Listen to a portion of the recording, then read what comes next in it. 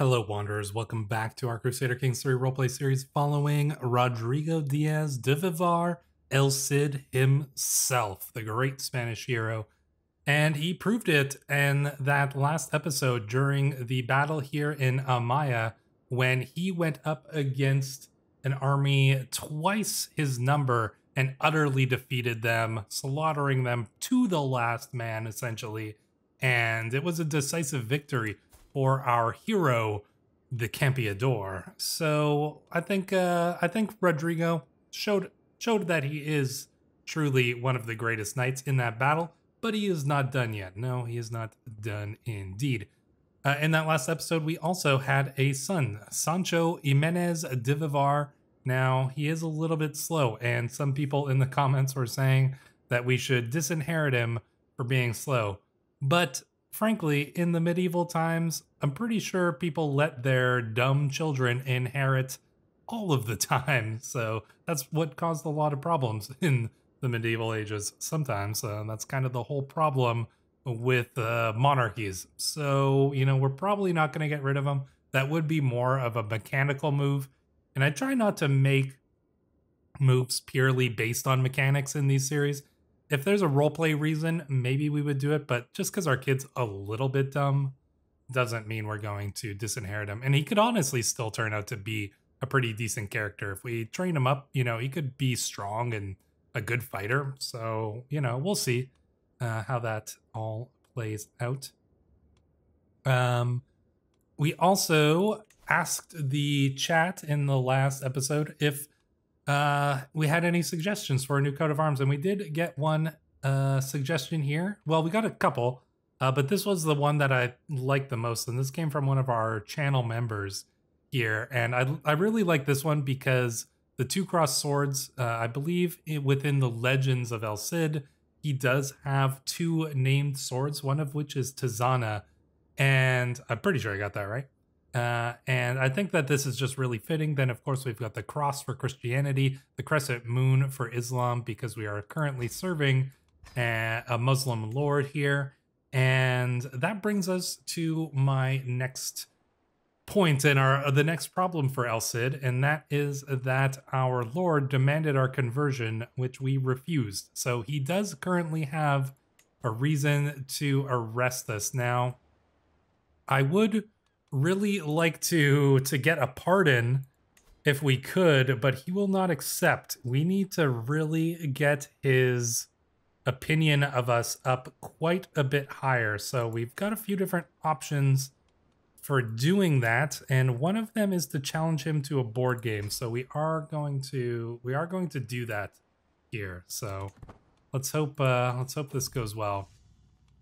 Now, whether we win or lose, he is going to increase opinion of us, unless we like form a rivalry with him. Hopefully not. But uh, uh, Rodrigo is not smart enough to purposely lose the game. You know, I don't think our wife is smart enough to counsel us that way. So we're just going to play it the way we would normally play it. El Muqtadir takes a seat opposite me. We are about to go. He starts out with some bland moves, and we are going to show him that a strong sword arm is a strong die arm. Well, we're not playing dice, but we are playing a complete. We're playing chess. There's no dice involved here, uh, Rodrigo. Uh, he's attempting a robust attempt at a coherent strategy. We cunningly foil him, though. Uh, I think we're going to say, You think you can outthink me? But he is, uh, he is outthinking us. He's countering every stratagem we employ. Chess, like war, is all a matter of logistics. Indeed, our match marches on. Ah, he's doing some innovative plays, but we foil him. I play chess like I fight, savagely. We both stare at the final piece. I did it. I've won. The game of chess is mine. Another vi fine victory on my indisputable rise towards the role of king of games. Desolate Al Muqtadir remains seated, hands on his haunches, trying to comprehend where he went wrong. I'd love to play again sometime. And he agrees that it was a good game, so that's good. But it's still not enough for the pardon. We got to get this pardon because if he attempts to revoke our title, we are going to be in big trouble. We don't have a lot of options. I mean, we could probably beat him if we hired enough mercenaries, but we'd have to spend all of our money hiring mercenaries, he's got an alliance with Tule Tula, Tule Tula. I, I don't know how you pronounce this honestly. Tule Tula, and uh, yeah, I think that that would be pretty pretty tough to beat. Not impossible, but I'd rather get a part in here. So what could we do? Oh, how much time do we have? I don't know if we have a lot of time here. It's already been a few months. I think we got to send him a gift. I think we got to send him a gift, get him onto our side, and ask for the pardon. I think this is the best way to secure ourselves. If the thing is, like, if we fought him in a war, we were going to have to spend all of our gold on mercenaries. Now we're just spending half of our gold on a bribe and getting him to forget all about it. And this is probably what he wanted in the first place. So, because he's a cynical man, he doesn't care if we follow his religion. He, well, he's a holy warrior as well for some reason. make that make sense, uh, because I surely can't. Uh, but yeah, I think that he just wanted this bribe essentially, and uh, we're gonna give it to him. So,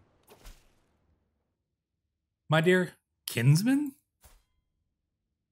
uh, are we related? I don't, I don't think we are. Are we? No, we're definitely not related. I'm not sure. Maybe he's just means that colloquially.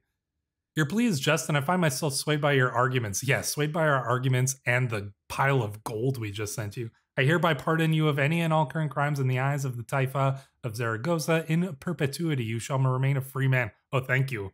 Thank you, Amir. Security at last. Uh, I think that was the right play, though. I just, I didn't want to risk uh, having to fight against our liege in this current situation here. So better to spend the bribe, get the pardon. I think that was the right thing to do. Of all the buffoonery I've seen in Wali Abdul's inane efforts to improve my relations with my neighbor, my good for nothing chancellor has officially not acknowledged Sheikh Mundir's claim to the Sheikhdom of Calatayud. Ugh. Great. Thank you. Thank you so much, Wali Abdul.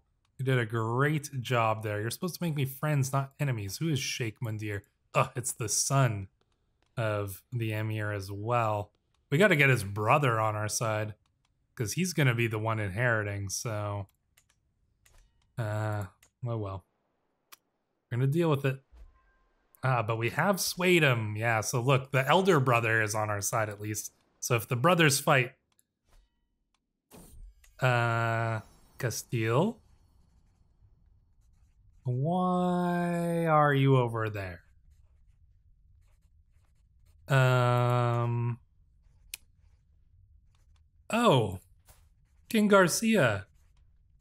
You seem to have died under mysterious circumstances. I wonder whatever did happen. King Alfonso, he's, uh, oh, conveniently with an alibi on his ship back from the Pope. Why were you at the Pope? He was trying to get his excommunication taken care of and uh, oh, his brother just happens to die. Oh, that's so unfortunate. You must be terribly bro- broken over having lost now two of your brothers. Hmm. Well, that is uh that is uh what we can expect. I mean, Alfonso is basically the villain of this campaign so far. He's murdered both of his brothers and you know, he kicked us off of our lands and we're gonna have to do something about it. He is, he does have the lover's box, so, oh, you know, at least we've got that much. But yeah, we are going to have to do something about this guy at some point. Ah, we did have another son. Oh my god, look, our other son too. He's not. Apparently, we've just got you know, our we've got bad loins because uh, we have not been uh, producing the best of children here. Um, do we want to name him after ourselves? You know, we don't know that he's, you know, a wheezy child yet, so we're gonna name him after ourselves. Rodrigo. Great. I mean, at this point, our dumb son is probably the better one. like, ugh, oh well. It is what it is. You gotta play. You gotta roll with the punches. I'm not gonna reload the save to get like a better kid here. it's just we got we got bad children. I mean, they're not bad children. They're they're just uh, sickly and dumb. So there you go. Um, Alvar has died. Oh, he was maimed. He must have gotten maimed in that battle. I didn't see it. But he has died from his internal injuries. Our dear friend Alvar Fanez. Some people have mentioned he is from the legends of El Cid. Um, some were saying that he may have been a cousin or a relative of El Cid.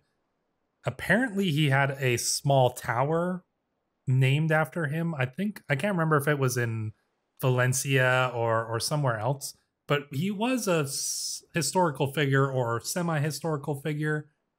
Uh, hard to say, but uh, yeah, he was uh, definitely within the legend of El Cid, and unfortunately has passed away uh, much too soon here. So, uh, rest in peace, Alvar, our dear friend. That's gonna that hits us with some more stress, which is not good.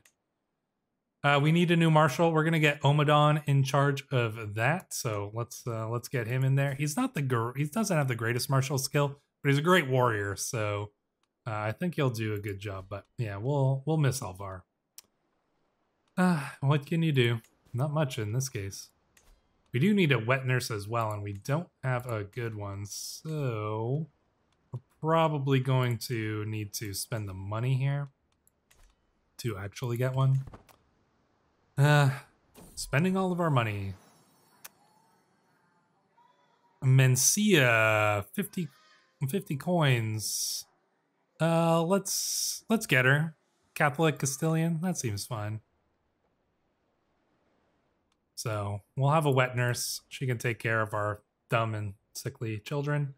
And uh, yeah, hopefully, hopefully they'll turn out to be all right. There's a hunt going on, and you. Oh, I was gonna say you didn't invite us. Oh, but they did invite us. We're obviously we're gonna go. Do we need a caravan master? Let's put a Umar. Now let's get. Ah, speed is probably better, right? Hmm. Oh, you've got. You know, this guy's got decent speed and decent defense. So, you know, I'm going to take you. Who is this? Uh, Musa. Yeah, Musa. Oh, he's a blade master. Nice. Yeah, you know, let's join the hunt. We might get some good events here. Let's uh, hope that it goes well. Soon.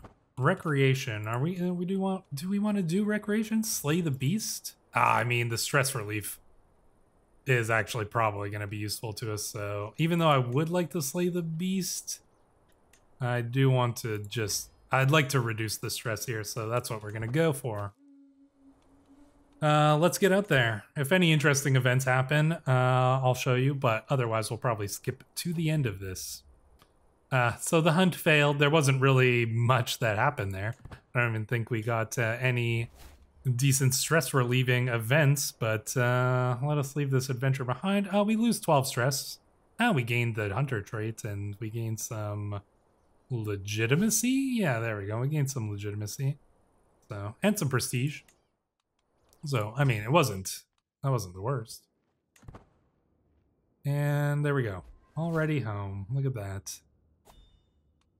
What do we have? We could host a grand tournament. Oh, well, that's a lot of money.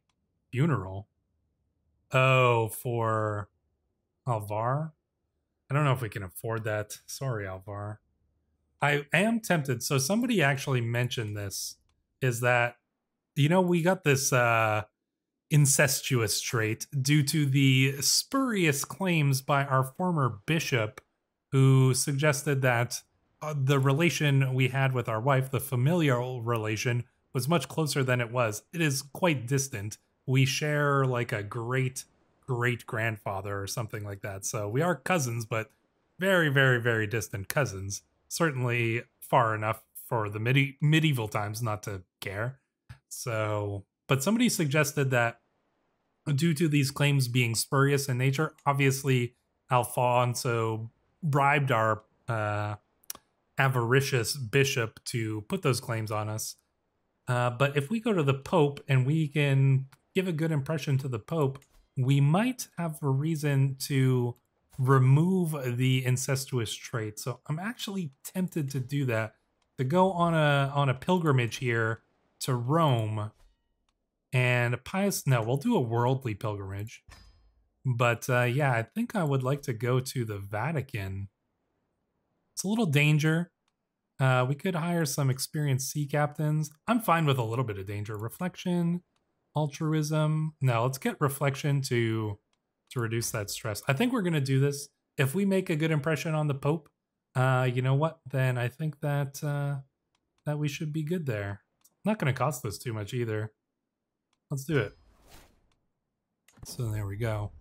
Preparing for the journey. So we are going to head off on. Oh, you know what? I should. I should adjust our thing. Is there anywhere that we might want to stop? And eh, 200 lifestyle experience. No, stewardship. We don't need stewardship. Could gain some martial experience if we go to Genoa on the way back.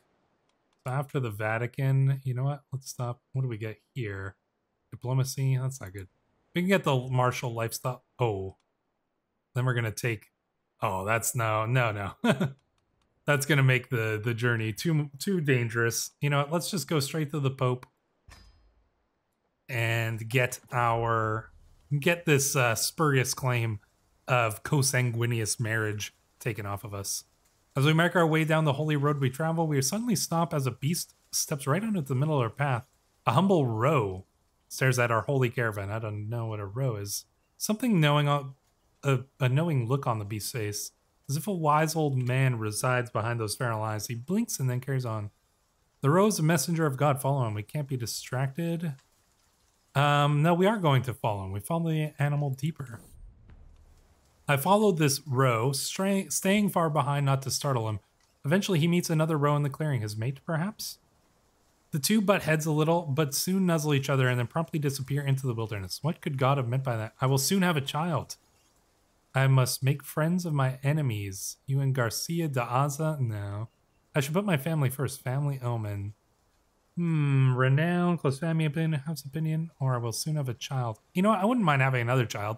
We haven't had much luck with that so far, but uh, that's probably what God meant by that, surely. Our road takes us through a treacherous parts of Belchite. While I scan for any dangers ahead, a rustling bush grabs my attention. Could it be a wild animal? As I brace for impact, Musa jumps out of the bush instead, holding a plant. You scared me. Let me see what you have. Yeah, it's a delicious fruit. Hold on, what if it's poisonous? Let Musa eat it. Yeah. Try it, Musa. And you get some painful stomach ache. Well, you shouldn't eat random fruits that you find on the road. Regent is uh, unsuccessfully furthering our mandate. That's not great. But, uh, oh well. Our wife is trying our best. Guards drafted for the levy. Ugh. All of our council, while we're gone, is just failing every time. Oh well. But here we are. We are just about to get to Rome. Pilgrims flock to Rome from all over the Christian world. Some follow the Via Francigena. Others take uh, less well-known paths. Here we are, St. Peter's Basilica, where the great man himself was put to rest. I've walked the holy path. Indeed we have. What kind of things will happen while we're here in Rome? We spend some time in solitary... Oh, we, we learned Italian Vulgar, which is good. Lost some stress It's also good. The markets of Vaticano are bustling with merchants shouting in foreign languages. The guide of the pilgrim learned the safest route to discover the marvels of Vaticano. I'll take one. Pilgr pilgrimage becomes more worldly. Become we gain a local expert. Travel safety. Uh, Pilgrim's Guide, Diplomacy plus one. God shall guide me. Um, what happens if we get a more worldly Sheltered Pilgrim. I think we'll take it. I'd like to potentially get at least one level of worldliness. We'll see if it happens. We got two months here in the Vatican. See what kind of events we get in the meantime here. Ah, we bonded over a spiritual spiritual journey with uh, Gustillo here. Oh, that's uh, Omadon's wife. Well, that's good. There's only so much man can pray without looking for other equally important ways to spend one time. And Pope Alexander has a lovely residence uh, that he so kindly allowed us to visit. So Pope Alexander has allowed us to come to his house. I hear some voices coming from one of the rooms, and in doing this, you'd achieve the greatest technique. I see Ieremia. uh, explaining his craft to a group of interested courtiers who appear to eagerly follow his teachings. What an accomplished master, I should attempt to hire him. The Pope would lose opinion on this. Such ex- experts feel wasted in a court like this. No, we don't want to. A person is not enough to risk the fury of Pope Alexander. Exactly. We got to get the Pope to like us. That's the whole point of this entire journey. Can we get the Pope to to like us a little bit more here. You know, I'm gonna try to sway you. We're gonna start scheme, and I'm gonna gift you an artifact. Five opinion. You know, we'll send it. We'll give him the Pilgrim's Guide. There we go. Look at that. We're working. You know, we're working those contacts, trying to, you know, network. Please saunter past the stalls of Roma Market. We are approached by a peculiar woman she unabashedly addresses us. My lord, you look like a refined gentleman. I know of a simply divine experience not far from Roma, which would sure be of interest to any dedicated pilgrim. Color me intrigued. Uh, we're tricked into a dangerous situation? No, we're brave. Let's try it. Pilgrimage, pray. Our guide Ambrosia's carefree whistling is the final thing we hear before thugs approach us, seemingly out of nowhere, quite a distance away. This was a setup, and now we're isolated without hope of intervention. My pulse rushes as I try to figure out my next move. How dare they prey on pilgrims? Musa deal? No. The, the oh, the power. This is a sacred place. Are you not God fearing? Um. Huh. I wish we could do this. Uh. Oh, we gained the zealous proselytizer perk. Huh. 68% chance. Oh, do we try it? We could lose 15. Musa deal with them. I mean, this is actually a better chance for a good outcome, and I wouldn't mind gaining this perk. We're gonna try it. Villain's exercise. Yeah, we gained the Zealous Proselytizer perk. Is where is that? Is that here? Fruitful Omen? Uh Pilgrim. No idea where we see that, but uh apparently we have it now, so that's nice. Time at the sacred site draws to an end. I'm slightly concerned that I not get the experience uh, as much of other cultures as I perhaps I would have liked. This is my first pilgrimage, but you know what? We we tried. So we gained sheltered pilgrim for five years. That's okay. Uh, let's see. Oh, we gained determined pil we gained determined pilgrim for for years, and our legitimately level legitimately C level up. Roma, it has been an honor. Finish the pilgrimage. That's not so bad. That is not too bad. And look at the Pope. The Pope likes us now. So I think, you know, he doesn't love us, but I think we've probably convinced him that, you know, our marriage is perfectly fine. You know, we we went to his house. We were uh, a welcome guest. We gave him a gift of a book. I think the Pope would probably uh, be quite fine with uh, with that, and he would probably confirm that this is not a consanguineous marriage, that we are perfectly within the right to be with our wife. And so I think in the next episode, we'll probably remove that uh, trait from us because that is, uh, that seems pretty fitting. And I think that we will end this episode here. So, uh, so far, I think that this was a pretty decent one. Not a lot of action, but Castile Castile was definitely getting some action in there, considering he just had his other brother murdered, and uh, he's getting pretty chunky. So yeah, we will need to deal with this man at some point, but we will deal with him in another episode. So until then, Wanderers, thank you for watching.